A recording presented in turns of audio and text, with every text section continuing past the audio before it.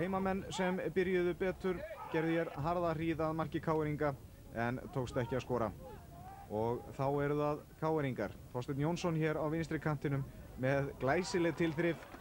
Gefið fyrir markið og ásmundur Haraldsson í færi en þrjuma boltanum yfir. Ásmundur hefur tekið stöðu Guðmunda Bendiktssonar eftir að hann meittist og hefur ekki verið eins markheppin á Guðmundur en menn vita að margt býr í þessum pildi og þá er það Ríkarur Daðarsson markaðistir maður deildarinnar með skemmtileg tilþrif leggur boltan út á Þorstein en uh, sendingin gekk ekki fyrir. En sóknin heldur áfram hjá Káringum og hartbarist Ásmundur og glæsileg helspilna hér hjá Brynjari Gunnarsinni og Ásmundur með þrumuskot en hærútin Karta Klía ver Karta Klía stóð sig eins og hetja í marki blíka í dag var að öðrum ólaustum besti maður liðsins. Hilmar Björnsson með sendingu hér á Brynjar og Ásmundur enn á ferðinni leggur boltan hér yfir á Þorstein og hann með skot en Karta Klía ver. Sóknir Káringa þingdust þegar uh, þeir fóru að koma betur inn í leikin í fyrirháleik en uh, hér er uh, Þórallur Hinriksson með ágættan skalla en yfir mark Káringa og áfram sækja blikar en Þormóður Egilson skallar frá. Og hart barist hér. Það er Kjartan Einarsson sem hefur betur en sparkar síðan hér aftan í Þormóð Egilson og uppsker guldspjald fyrir hjá Aglim á Markusinni Dómara. Nokkur harka var í þessum leik. Hér eru líkar nálægt í að skora það er Kjartan Antonsson sem á skoti í stöngina en er dæmdur rángstöður á rétt hjá Kára Gunnlausinni línu Dómara eh, og áframheldur sók blíka og þetta er laglega gert hjá Halldóri Páli Kjartansinni kemur boltanum fyrir. Og skyndilega Sæfa Pétursson kóin í færi en skotið ekki nógu gott og káringar bæja hættunni frá. Þá Ríkardur Daðarsson þingur boltanum hér fram á Hilmar Björnsson og Hilmar skiptir yfir á Þorstein og uh, alveg eitthvað vandræðilegt spil.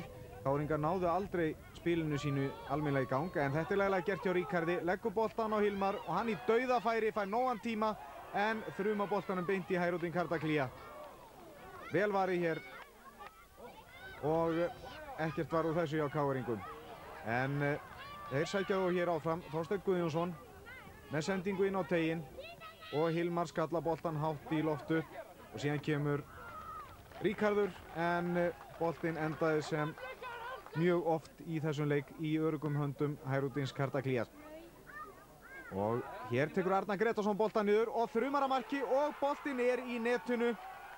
Ívar Sigur Jónsson potaði tánni þarna í boltan stýrði honum inn fyrir stöngina og á hann skrifast markið.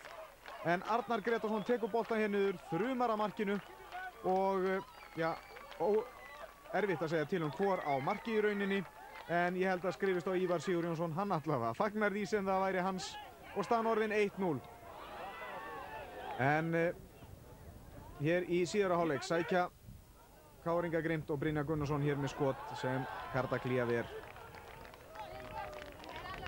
og Vesturbæðingar heldur súrir yfir því að vera undir í leiklíi hér var ágættis skot úr aukarspilnu hjá líkum en beint á Kristján Finnbóðarsson og þá er Óskar Rapp Þorvaldsson með aukarspilnu fyrir Káringa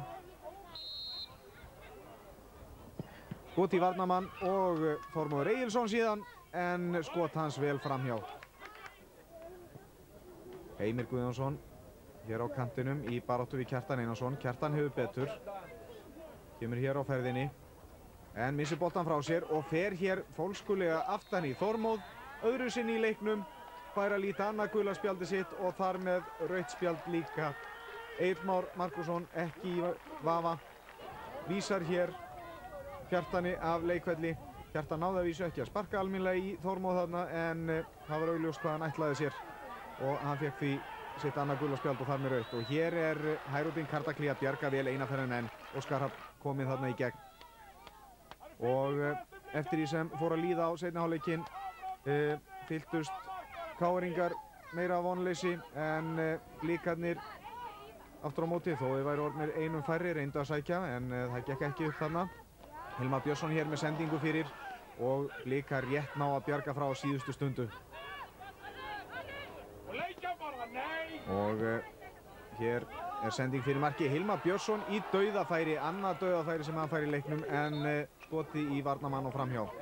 Og hér kemur inn á Gunnar B. Ólafsson rétt undir lokleiksins og uh, hann var nú ekki lengi að setja sitt mark á þennan leik. Hér er innkast og uh, hann nær nú ekki boltanu þarna en fær hér sendingu og tæklar Þormóð Egilson svona hressilega og fær að sjálfsögðu áminningu fyrir. Var inn á í um það byrj 10 sekundur áður en hann jarðaði Þormóð svona laglega og fekk uh, áminninguna en Þormóð stónu upp alhill eftir. Heppilegt að það skildi svona sterklegu leikmaður verða fyrir þessari tæklingu. En hér flautar Eidmár Markusson til leiksloka. Blíkar fagna dýrmætun sigri í fall, fallbaráttunni. En Káringar súrir að missa þessi stig